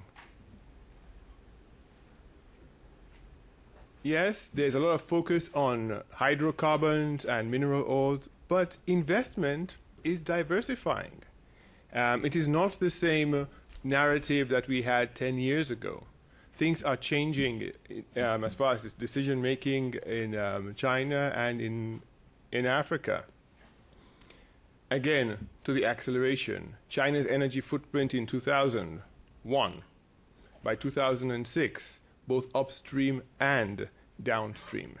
And the downstream is a lot more telling because it speaks to the long term nature of China's, in, of, of China's engagement. Expanding footprint, technical assistance, trade, debt relief, FDI, peacekeeping. A lot is happening. Infrastructure pro, um, projects, practically wherever you look, there is something going on. Look at Africa in the context of the global of China's global footprint. There's a lot to a, a lot to learn. But how does this happen? And are we really understanding what this means for not just economic stability, but also regional stability across the continent. I have a number of bullet points. I'm only going to speak to two in the interest of time. The first, resource backed loans. Um, we talk a lot about the barter system where China barters both investment and trade for Africa's natural resources. And we think this is something that has that, that, that, that probably sounds um, as if it has some sinister undertone. They're here to take the resources. But someone mentioned that, you know, we have different Chinas, but China does what has worked for it. If you think back to the early 70s, when China was preparing to launch on this phase of modernization, it required two important things technical know how and investment flows. No one would lend to China. It was very expensive for China in, in, the open market. What did China do? It bartered access to coal and oil to Japan. And Japan, in turn, came in and did the investment, brought the technical assistance, which is what helped kickstart um, the Chinese economy. China dealing with African countries where you have information asymmetries, you have high risk, but you have resources it worked for them. And so they're applying it. Um, a little over a couple of years ago, I was on a VOA um, telecast to China, phone in program, and I had a similar um, response. Uh, we were talking about the, the, the um, best way to do business, the most responsible way to do business. And a miner from northern China called in and he said, What are you talking about? Have you ever been to a Chinese mine? We do exactly the same thing here. Um, but the issue is China is very formulaic in its strategic posture. It worked very well for China, and so it sees, looking back at most African countries, they are resource rich, but they are dirt poor. And so it sees in its mind, from a strategic perspective, that this is possibly something that could work. But is it being done in a way that is most beneficial to African countries? Most African countries do not do the math they say, oh yeah, we have copper. All right, yeah, we'll, we'll, we'll we will barter it. And then it becomes problematic. And so that's one important thing that we need to dig deeper into before we make leaping conclusions about what is good, what is bad, what is injurious, and what is not. The second thing I'd like to talk a bit about is the package deal. China is very creative in its use of foreign assistance or aid. Um, here in the United States, we, se- we, we, separate foreign assistance from commercial investment. Um, China does not. It, it, it, has a package deal approach. And this it is not just Africa. China does this all over the world. It uses foreign assistance inducements to sweeten um, trade deals. And the trade deals look a lot better than they actually are. It probably looks good on the uh, face of it, yes, you're having more foreign assistance coming. It is helping to bolster the um, the, the um, whole the, the, the whole deal. Um, the, we would have not just a mine, but we'll have roads and schools, etc. But what are the issues underlying that? It is actually, if you unpackage it, it is tied aid redux. And tied aid is not good for development or sustainability. So we should ask the question how do we package um, from an African perspective our approach in negotiations such that we do not we still get the aid, we still get the investment, but it is in a way that gives us a choice. A choice about how best to target the investments, a choice about how best to utilize um, foreign assistance. a lot of Africa's debt is because of bad decisions made in contracting contract, both commercial and concessional loans. And this is and, and, and this unfortunately persists. We talk a lot about which model is better. I'm not going to speak to this um, in detail, but I'll just say every time you're thinking about or you're analyzing both inflows, whether they are commercial or is foreign assistance, you have to ask why, what, and how. And unpackaging it in this way helps you make more informed decisions. There, in closing, I'll just say three things. Um, firstly, um, there is a basis, a rational basis for a lot of what happens on the strategic end and Chinese side, but you can't find similar rational bases in many African countries on the other side of the table. Secondly, um, aid dependence and unhelpful investments uh, could be destabilizing in two ways. Um, first, we have to recognize that even though right now China is at a place is, is in a posi- is really in a position, position, position of advantage vis-a-vis the African countries, in the outer years, should African countries become more prolific in terms of um, exports, they are China's competitors. So, what foundation is being laid now? If there is no viable foundation in the outer years, what we're going to have are states that continue to be weak, continue to be aid dependent, and unable to trade competitively. And that is the only way that we're going to see states across the African continent that rule justly, provide opportunity for entrepreneurship, and foster a spirit that I know human security is a much, much maligned term, but foster a spirit that you know enables human security, where the average African citizen could be able to look back and say, I have an iota of confidence that my children's tomorrow will be better than my yesterday. And finally, um, we also have to know that Africa has significant structural gaps. Infrastructure is a big one. Risk, etc. Most people don't want to do um, infrastructure in Africa. But Africa should not assume that they have a fixed menu. Many times, that's the assumption. Africa can go a la carte and have China do some of the things, Russia do some of the things, Europe do some, and other um, strategic, strategic partners do others. But in order for those partners to take them seriously, they have to do three important things. First of all, they have to reduce direct and indirect costs to trade. Secondly, they have to eliminate distortions, particularly corruption. And thirdly, they have to plan the transition and the only way to plan the transition within the context of today's event is to be able to fully understand not just what the business model is that they're dealing with, but what the underlying assumptions and motivations are. And that is the only way that we could be able to say we have an end state and we're able to plan strategically about how to get there. I would really advise us to be um, excited about the opportunity, excited about expanding trade, but let's be smart about how we analyze the issues and get to the core. Thank you very much.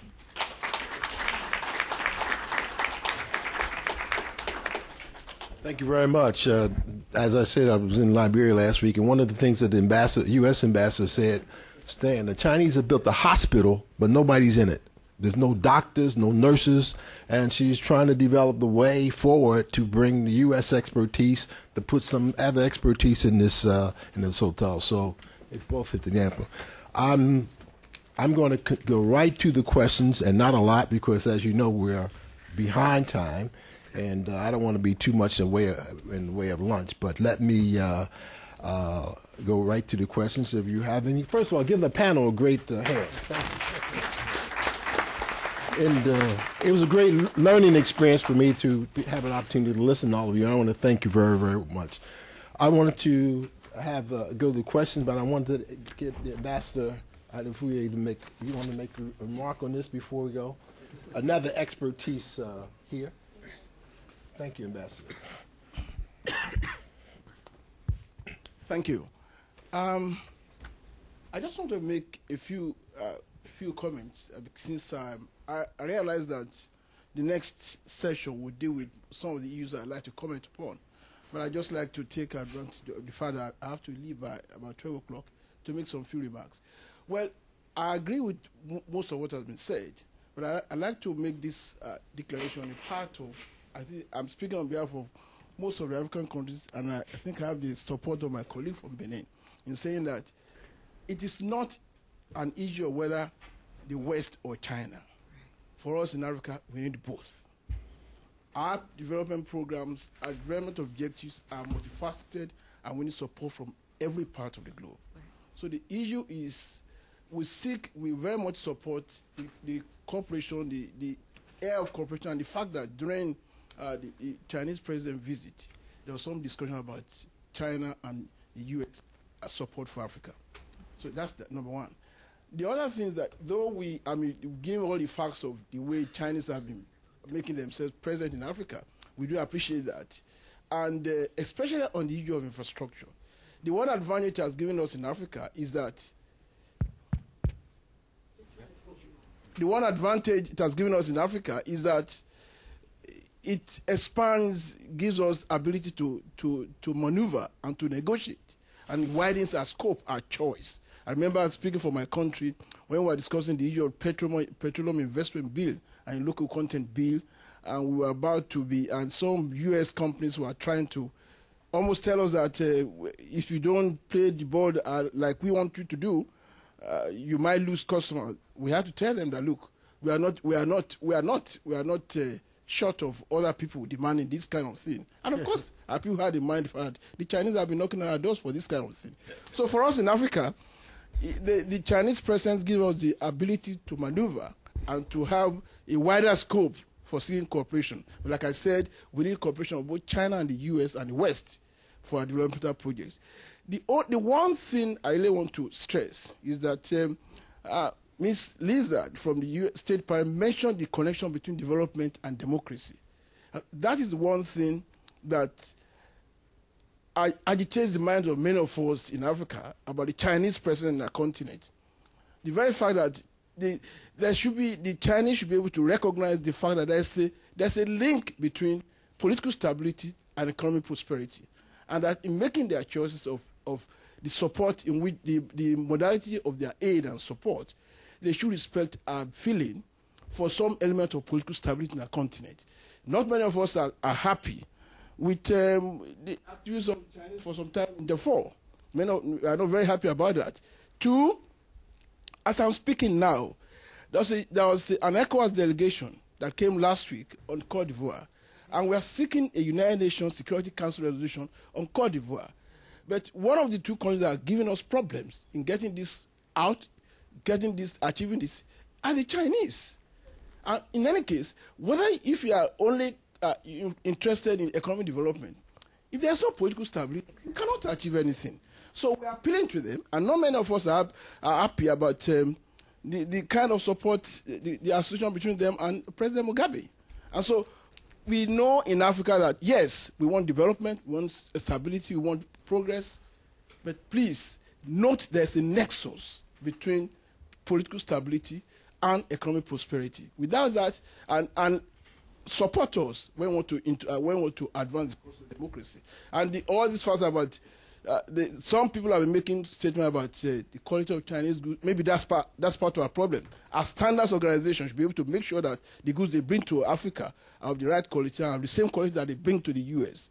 So but that, that, it's still part of the problem. But they should also see it from that perspective the goods they bring to us in Africa should be of the same quality as bring to every part of the world.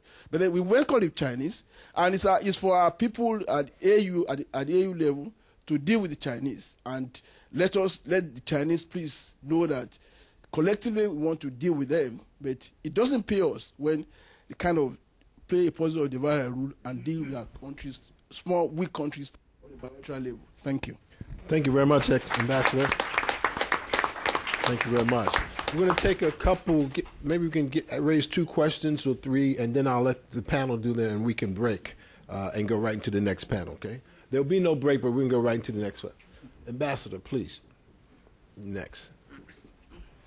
Thank you. Uh, enjoyed the panel very much. Many very thought-provoking comments. Question for Dr. Wenran. Uh, you noted the correlation between Chinese domestic policy as well as business practices and its impact on activities abroad, in particular in this case Africa. Uh, how, and you also mentioned the growth in uh, Chinese trade and investment with Africa. Uh, someone else earlier noted uh, the issue of pressure from the West in terms of the value of Chinese currency. How would you project the impact on Chinese trade and investment with Africa if over the next five years there is an appreciation in the value of the currency? Thank you. Um, one, uh, right there, Mamadou, right there. I'm gonna. We're gonna take three, and please identify yourself.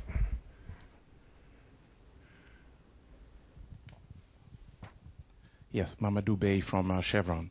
Uh, I have a question uh, for uh, uh, Madame Liser. You mentioned during your speech that U.S. Uh, investors are not educated about opportunities in Africa. And looking at some of the, the, the, the, discussion we had here previously with Dr. Ngozi and with what Raymond Gilpin also mentioned, what are the reasons why U.S. investors are not looking at the opportunities in Africa while the Chinese seems to know what's happening and also the Indian and the Brazilians coming.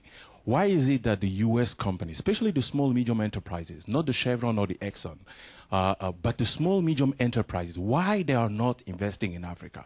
And what are the instruments that the Chinese government is putting together that the U.S. government cannot? How can we talk today about unemployment in the U.S., about crisis in the U.S., while we, we also know, especially the policymakers, that there are real opportunities? So how can you help U.S. small medium enterprises to invest with the kind of instrument that you can put together to allow them to go? Thank you very much. One more, and then we'll, uh, right here, and then we'll uh, have the panel engaged. My name is Herbert Weiss. I'm uh, associated with the Woodrow Wilson Center. Um, and my focus is the Congo, the Democratic Republic of the Congo. Uh, and I'd like to pick up the comments that were made about barter and speak exclusively about barter, which is a major piece of the exchange, the commercial exchange between the DRC and China. An element of barter that has not been mentioned is what impact it has on the African society that has engaged in it. And since we all know, uh, certainly for the Congo, uh, that uh, corruption is a major problem, uh, the thing that is a great advantage in barter is to put it very briefly, I know you want very quick comments, uh, you cannot deposit a road in a Swiss bank. And that's the key to the whole thing. Now, none, none of the speakers spoke about the division of wealth within the African countries that gain that wealth through international exchanges. And it seems to me that the Chinese are gaining an enormous advantage through barter where it is applied because it is inevitable that there is what we call in the West trickle down when you use barter. And when you sell concessions for money, that money at best stays in the capital city, but more typically ends up in foreign banks in private accounts. Okay. Why is it not possible for the West to copy this model since we claim to be much more interested in the general welfare of those societies, including democratization, than the Chinese model, which is basically purely a model of exchange? Thank you very much. I'm gonna I'm gonna do a little. I was gonna say three. I'm gonna do one more, uh, Nancy, because nobody's talked about education in the whole panel, and I wanted to make sure that's important to all of us. So, Nancy, please introduce yourself, please.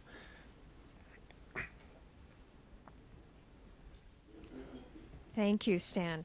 My name is Nancy Overholt, and I'm with the Institute of International Education. And I would like to um, ask the panel to address the development of not infrastructure but human capital, the capacity development of exchange through education um, and um, understandings which can address uh, a variety of what you're talking about, and particularly the demographic bulge to which Ambassador, uh, the ambassador referred um, not too long ago. Thank you. Thank you very much, Nancy. Let us begin then with uh, Dr. Jiang responding to the question of the impact of uh, trade on trade and investment of the currency, uh, Af- uh, Chinese currency that was raised by amb- by an ambassador. Okay, th- uh, thank you. I think that's an important question here. The bigger picture uh, on the uh, Chinese currency or renminbi or RMB or yuan, whomever uh, you, you, choose to, whichever you want to use that. I think uh, the bigger picture is that in the past five years, uh, the RMB versus US dollar has appreciated by 22%. Many people actually don't seem to remember this is the fact. Uh, in this capital, especially that political exchanges get very, heated. China get into domestic politics. Congress would accuse China uh, manipulation. Uh, the Obama administration would like certainly to see China as RMB appreciate more. I mean, one thing we know, if by tomorrow, as some people advocate Chinese currency going up by 20 percent, we know there's one significant indicator will change. That is the strength of the Chinese economy is going to be much closer to the U.S. size uh, than simply just last year, as we know, by U.S. dollars uh, you know, measurement that surpassed Japan as second largest economy. Uh, but let me go back uh, to the internal dynamics of the RMB debate in China. I think, first of all, the RMB has been appreciating, although not as fast as the Americans wanted. But you have to see whether you can do more in the Chinese domestic context. Uh, China, we're talking about millions of people, jobs at stake. Okay, I grew up in China and uh, I goes back. I go back to China all the time. One of my trips over a year ago is back to the northeast part of China, Harbin. That's where I was born. Many years I have a friend I have not seen, and he came to the gathering, and the first thing he mentioned is, he said, "I googled you before I came, and you have written to advocate China uh, increase the value of currency uh, uh, uh of RMB." He said, "Let me tell you what I say. I said, he said, I'm in charge of the Heilongjiang provincial textile industry. Every 1% or 2% of increase of RMB means the lose, losing jobs for the very, very thin margin local textile industry. He said those vulnerable mothers, mostly women in the textile industry, will lose their jobs. And he said, I don't care about macroeconomics or whatever you political science sit there in the Western office and write about. All, all what I care is our workers need jobs. So I'll fight from the local perspective. That leaves me an impression that you have domestic concerns that's very serious on how China manages its own RMB situation. But I think in the in in the broader context, back to the African context, the argument is that a strengthened, I think the RMB will continue to strengthen. A strengthened RMB will increase China's purchasing power a lot more.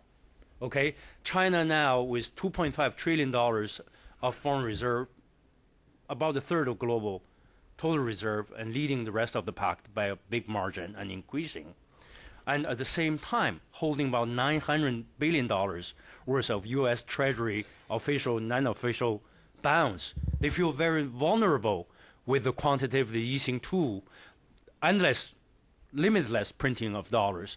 They know the U.S. dollar value is going to go down. So they want to invest in tangible assets. That means energy and resources around the world to diversify just enough, but not to cause a panic.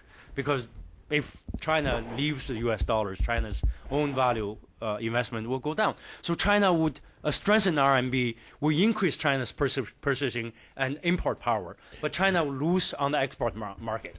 In the long run, the macroeconomist, good friend of mine who is sit, used to sit on the currency commission in China, he, his advocate is that China should do so in its own initiative for its own good. The strengthening of RMB will increase China's import uh, uh, cap capabilities while balancing out on the long-term loss of jobs on the export sector. So we're looking at Africa now. In China's foreign trade is just over overall four percent, not that big, but China's foreign trade in Africa is over ten percent. So okay. any movement on RMB, very important for African continent. So we need to watch that very closely. Thanks. Thank you very much. Uh, Ambassador Liser, the next question was directed to you about U.S. investors in Africa and why why aren't we there? Right. So, first of all, I think it's a great question coming from a large company that has a history in, of being there. Um, I think the issue is really public perception of Africa. It is changing but it is not changing rapidly enough. And there are a lot of organizations, um, the Africa Society and others, that are trying to do a better job of, uh, not a better job, but to actually do the job of making sure that the American public doesn't just see Africa as the place where there are children who are starving. How many of you have seen those commercials with, you know, the little boy that's crying and, you know, the bellies are swollen? And if all that um, the American people generally think of Africa is that it is a place where, um, you know, we send aid uh, and they don't know um, uh, that uh, Africa is uh, full of 54 very vibrant economies um, with uh, investment returns that are really high. Uh, then they won't. If I could just on that point, this is why the diaspora is is really so important. Um, there is an ITC study that uh, came out recently about SMEs as a part of the government uh, uh, uh program on SMEs, and a larger percentage of U.S. SMEs are engaged with Africa than any other region of the world. So we believe that that is because there are people who understand those economies, know those economies and countries, and will invest. In terms of U.S. tools, we have um, organizations, you know, the Small Business Administration, the Overseas Private Investment Corporation, the Export Import Bank. There are a lot of U.S. tools for small businesses to invest in Africa and to do business with Africa. But the problem is is that they have to have people coming to them with bankable projects that they can then look at and, and, and financially support. So those two things I think will rise together. The people who are interested in doing business with Africa and investing in Africa as uh, um, U.S. agencies and others support um, that increased uh, engagement. Thank you very much, Floyd. Let me just add one of the things I found out, in, and when I went to Liberia last week, it was a trade mission, by the way. And one of the big problems for U.S. firms that are trying to do business in Africa is that they can't beat the Chinese firms in the in the bids. The World Bank bid you in, they can't beat them. And so uh, the ambassador, while she recognizes this, she still has to deal with this and counsel uh, U.S. firms that come to try to bid on bridges and roads and whatnot, counsel them to be patient and keep trying. Uh, so it's a distinctive uh, disadvantage for U.S. firms. We don't have all of the tools necessary to make us competitive in the marketplace. The next question uh, related to my colleague's uh, question about bartering. And uh, as I like the way you put it, you can put a road in a Swiss bank. I love it. you know? So the question, I, somebody has to please uh, uh, uh, direct them, have an answer to this question, or why isn't that's one of the things we should be considering in our relationship with Africa? Mr. You want to try that? Yeah, and uh, um, excellent question. As I said, um, we have to be both innovative and creative in the way we do business with Africa um, largely because there's this information asymmetry that makes it difficult to, you know, do normal type of business and in investment, but also because um, of Africa's comparative endowment. At the moment, it's natural resources, and you're right. You can't put um, you can't put a road in a Swiss bank, but you could put um, some of the proceeds from the road in a Swiss bank anyway. Uh, because we see a lot of these tenders are subject to significant amounts of leakages. But as a model, it is worth considering. It's not every time that it has to be cash or um, financial transfers. There could be times when we actually help fill this this glaring infrastructure gap in Africa, and that is one one way to do it. Um, but whether you do it um, the way it's currently done, or whether you do it as an optional um, alternative in your menu of um, possibilities, what we sh- Africa should avoid is blind barter. We generally sign the contracts, we generally reach the agreements um, before we count the costs. And when I say count the cost, I don't mean just count the cost at the point of signing. I mean count the cost over the income stream of the uh, of, of the of, of the um, engagements. And um, very few countries do this. And when you if you because if you review a number right now because of EITI, a number of these um, agreements are in the public domain. If you review some of the agreements and you quantify the relative impact, you would see that most African com- countries are disadvantaged, and it should not be so. So blind barter is not good, but barter as an option in a broader menu, absolutely. My, my last question gets us follows right on that point. I'm asked Dr. Young to speak to it. The one about human capital and the development of human capital. All of us can take a crack at it, but I wanted to uh, have you start us off on this question of human capital. Okay. Um, briefly, the issue here, I think, if we can refer to the Chinese uh, experience or model, um, the Chinese have been uh, able to have a very well educated uh, workforce at a very low cost. I think that explains a lot of, of the Chinese competitiveness. We're talking about the textile industry, China's export you can have the Chinese going to build things. They're competitive, talking about bidding process. They're doing engineering and technical work as good or even better than the Western firms, and yet at a very low uh, wage. I think the lesson here is is not how much African countries in its engagement with China to formulate strategies of selling this or that. Uh, that has to be sustained by to what extent, if you are a country primarily exporting oil to China, uh, like uh, Angola, Nigeria, some others, or copper in the case of Congo, how do you, in the process, to accumulate some of these uh, uh, profits or proceeds and to invest in your own human infrastructure? We're talking about a lot of physical infrastructure, absolutely needed for anyone who traveled in Africa. But human capital, at the end of the day, is really making uh, the country in the long run competitive. Uh, other than the uh, physical infrastructure, I think the lesson here is very clear. And back to the question about DRC, when I did, did the case studies, a number of trips uh, the southern part of Congo, Katanga pr- province, I talked to the provincial agriculture uh, ministry officials. Here is the response I got none of the provincials' treasurers' huge mining profits have transferred over the years to agriculture sector. So when I went to the mines to look at the Chinese investment along the way, what I found is a desperate need for infrastructure and agriculture products. You got water, you got good land, and they're telling me in the provincial government saying no Chinese, no Canadian agriculture aids are coming. We need those more and there was no transfer of these wealth. So how do you build your own human capital without having a well-educated uh, uh, uh population? I think the long-term uh, uh, question for all these resource-rich countries is how do you invest inside your own country and to build up the capacity to be competitive in the future. Thank you, Professor. Ambassador? Uh, I, I just had one thing that, that, that I think is really critical in terms of human capacity, which generally I think has not been focused on. Africa has a lot of well-educated people in, you know, uh, uh, some of the the um, sciences and, and, and arts and so forth.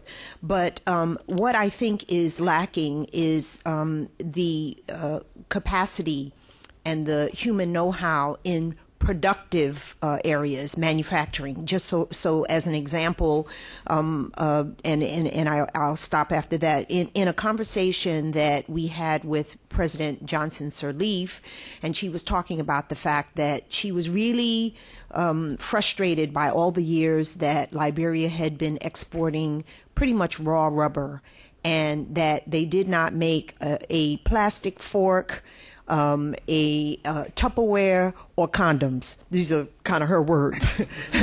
and and and and what we were what we were talking about and is relevant to this um, issue is what what kind of capacity do you need to be able to establish a manufacturing facility that can take rubber and make it into any of those items that, that President Johnson Sirleaf mentioned.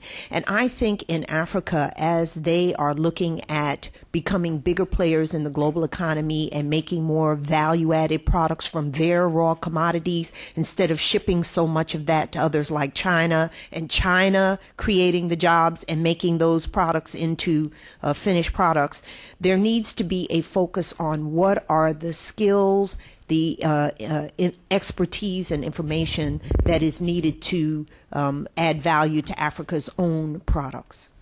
Thank you. China wants to be in Africa forever. Therefore, China needs the reputation, needs to pay the environmental cost of responsibility, but doesn't want to lose the short term competitive advantage by paying the cost. An idea that we might present to some of the key Chinese actors is okay, how about if China goes in and works with African governments to raise the standards for everybody?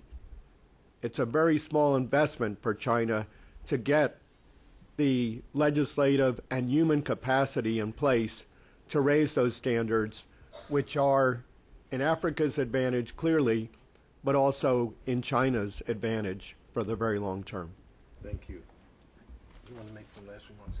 Um, just on in, in, this context, I I have um, over my very very long life um, traveled to or visited 45 African countries. Wow. I have seen helicopter pilots serving Chinese trained helicopter pilots serving as clerks. My only thing is capacity building is good, but within this context, there has to be choice. And um, usually, with the um, bilateral capacity building, we take what is being offered.